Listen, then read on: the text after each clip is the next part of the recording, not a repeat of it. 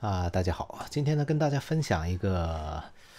估计大部分人可能用不上的这么一个小技巧，就是呢现在很多地方的街头啊都已经可以看到这种裸眼 3D 的啊这种大屏幕，但实际上呢这个就是只能在一个特定的角度底下看，它的效果呢才会比较好，在啊其他的角度看呢经常会，但根根据内容啊根据内容。啊，有就是，如果不是就是最最适合的观看角度下进行一个观看的话呢，它的效果呢就不这么好，因为它本本质上呢，它还是一个就是平的屏幕，只不过呢就是进行了一定的弯折，并不带有就是实际的这种 3D 的效果。啊，它这个 3D 效果的产生呢，都是通过这个视差视觉的这种欺骗来形成的。那像这里的这块屏幕吧，我们可以看作是一个这个截面呢，大概是这么样的啊，一块平面。啊，一块弧面吧，但是呢，就是像这里，它有就是这一块啊，这块实际上呢，这块是屏幕，它并不是就是这个楼梯，然后呢，就是这里啊这一块这些呢也是，也不是真正的这个边框，包括呢上面就是这里磨砂的这一块等于呢就是这块屏幕，它虚拟出来了一块这个空间，就是这个猫咪所在的空间呢，只占了这个屏幕其中的一部分。啊，相当大的一部分呢，它是用来形成了就是这个周围的边框或者不存在的这个区域。实际上呢，就是我们这个猫咪能活动的区域呢是整块边框，但是呢，因为有这个虚拟的这个啊边框和周围的这些存在呢，就给我们造成了一种这个猫咪离开了这个屏幕所在范围的啊这么一种假象。当这个呢，对，就是我们这个在 3D 环境之之中的这个制作来说啊，它是没有什么意义的。就是不管怎么样，我们都是可以把它做出来啊。问题呢，就是做出来之后，我们怎么样呢？就是输出适合就是这个弯折的屏幕使用的这个视频文件。那呢，跟大家分享一下。那这里呢，比如说我们可以先建立这么一个立方体，把它当成是这个屏幕。这里可以把它拉出来一点。这里进行一个倒角，那这样呢，我们就得到了一个这种弧面的屏幕。可以，我先批件把它分离出来，这里呢之后才使用。这块是屏幕，但是呢，就是我们制作这个动画的话呢，还是在原来的位置上。那呢，我们可以先建立一个这个摄像机，然后呢，一键或者三键切换到一个这个合适的这个正焦视图。然后呢，用这个小键盘上的四或者六键呢来进行一定角度的旋转。那现在呢，斜四十五度，正好是对着这个角度，也就所谓呢比较合适的观看的角度。Control Alt 加小键盘的零键，把这个摄像机呢对齐到这个方向。我们可以在摄像机这个面板呢，把它的这个焦距调到三十五吧，啊，就比较接近人眼的这个焦距。G 键摁两次 Y，把它移下来。啊，因为呢，一般我们看的是仰视的比较多，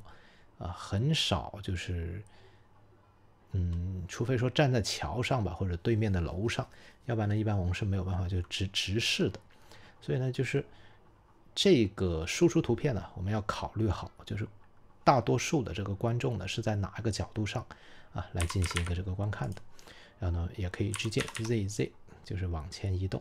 尽量呢就是。多取得一些这个空间范围吧，啊，然后这里呢就暂时先这样，我们可以把这个往上挤出一些，往下挤出一些，我们就得到这个边框，啊，这里我们可以给它多增加一些这个循环边，看看这里是四，我们可以呢就是把它桥接起来，啊，在边上也是，啊，那就是我们可以就是模仿刚才那个一边呢是比较宽的，一边比较窄的。但实际上呢，它都是假的嘛，啊，然后呢，我们可以在里面放一个这个，就放个猴头好，放一个猴头，然后给它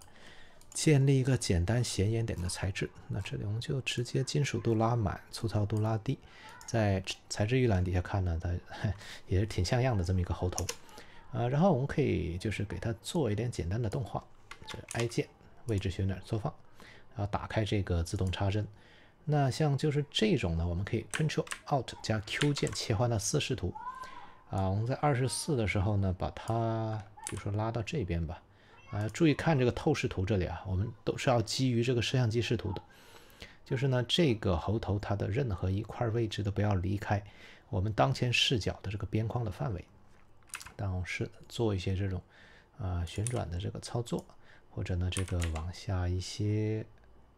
啊这种操作都是这个是没有问题的。那现在我们可以检查一下啊有没有什么出框的这个啊没有，继续到四十八，我们可以呢就是飞到这一边啊，我们可以在这里再给它进行一定的这个旋转。那现在我们也是注意看一下。啊，没有离开这个，啊，这里好像偏了一点点，偏了一点点，我们可以把它往这边收一点，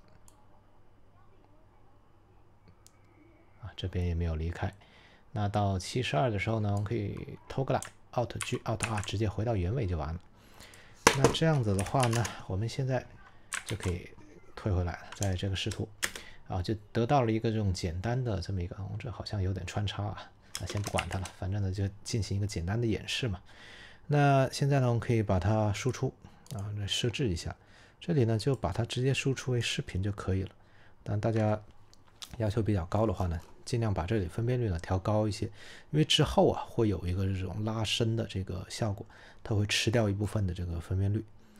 啊，这里我们就直接输出就好了。啊，这里呢，我们用这个视图中的视图渲染动画，因为这里啊使用了这个材质预览下的这个啊自带的一些 HDRI 环境。这这里呢，如果我们直接渲染动画的话呢，它是就是不会把这里这个环境带进去的。我就试图试图渲染动画，这样呢就得到了啊这么一段这个动画。得到之后呢，我们这个猴头跟这些啊就不需要了，我们就只需要一开始分离出来的这个背景。这个背景呢，就当成是我们的这个屏幕。那呢，我们给它新建一个材质啊，这个材质呢，就使用这个自发光，因为它是屏幕嘛。大家要更讲究的话呢，也可以就模拟这种 LED 屏幕上啊三色的这种。但这这里我们就简单的自发光，颜色呢，这里用图像纹理打开。这里呢，我们就使用就是刚刚渲染出来得到的这个图片。但是看呢，就是这个图片啊播放啊，它的这个比例呢是不对的。啊，但我们这里也调整一下，就是我们刚才输输出的这个影片是七十二帧，我们打开这个循环和自动刷新，这样呢，它会自动的进行一个这个播放。那呢，现在我们就需要使用到一个这个叫做 UV 投射的这么一个修改器。UV 贴图呢，就默认的贴图投射的这个物体啊，我们就使用这个摄像机。可以看到呢，现在呢，它就对了，但是呢，它的这个比例不对啊，因为这里这个宽高比啊是一比一。我们刚才输出的这个影像的宽高比呢是十六比九，所以这对应的我们把这个 x 十六除九啊，它这样呢，它这个比例就正确了。然后呢，可以看到，这里啊好像有点弯曲，它呢就是因为我们这个没有足够的细分，这是只有一个方向上有细分，我们就是给它多增加一些细分，可以看到现在呢它就光滑了。那那就是好比啊，我们就是一个人啊，就是在这个摄摄像机的这个视角观看。这个屏幕现在呢，观看的就是这么一个结果。当然呢，这像这个戏法，如果我们换一个角度看的话呢，啊，就会有很奇怪的这种拉伸的效果。最后呢，就是我们怎么样输出啊？因为呢，现在我们得到的这个呢，它是一个就是变形后的这么一个结果。我们可以把它复制一份，然后呢，把这个修改器应用。然后我们可以查看它的这个 UV 啊，可以看到呢，现在它的这个 UV 啊，是一个这种斜着的这么一个。那现在我们要做的呢，就是把它打直过来，在这个 UV 贴图这里呢，给它多增加一个这个 UV 贴图，然后呢，进入到编辑模式下，A 键全选 U 键，我们就选择这个展开。展开这里啊要注意啊，把这个展开这里有一个这个矫正高宽比例，把这个取消掉。然后呢，这个基于角度这些就可以不用管它，我们就得到了就是这么一个东西。这个东西呢，我们再进入到几何节点编辑器，新建一个这个啊几何节点编辑器的这个修改器，然后呢，使用几何数据当中的设置位置，直接呢把主输入中空白的这个端口呢连到位置来。我们在位置这里右侧这里啊，位置这里切换到属性输入，然后呢选择呢。我们使用它的第二套这个 UV，现在呢，我们就得到了一个这么一块面。可以看它这里的比例啊，现在就是变成了啊零点三九五比一。这个呢，实际上呢就是什么呢？就是我们这里可以其实也可以看得出来吧，就是这这个高呢是二，然后呢它的这个宽的比例呢大约是那这里到这是二，这里到这是二啊，大约是二点五，所以呢这里这个比例呢就变成了。啊，一比零点四，那就大约是二比零点八，二二点五比一的这么一个比例。我们把它切换到材质一览呢，可以看到这里得出来的就是我们需要的这个变形后的这么一张图。同时呢，它是符合我们这种啊宽高比的格式的。那得到这个之后呢，我们就可以啊再来建立一个是这个摄像机，这个呢也可以把它就是转过来。现在啊，这里得到的这个宽高比呢是就是零点三九五比一，那呢我们就可以在这个输出属性这里，啊，比如说呢就是这里三百九十五比一千，我们把这个摄像机新的这个摄像机啊，也可以把它转过来，然后把它改到这个正焦正焦视图，正焦比例呢切换到一。这里呢，我们也可以右键把这个设置原点啊，原点呢到这个啊几何中心，然后呢，嗯，我看看啊，这个啊，因为多加了一个这个几何节点修改器，我们现在也可以把这个几何节点修改器也应用掉，把这个原点呢放到几何中心，然后呢，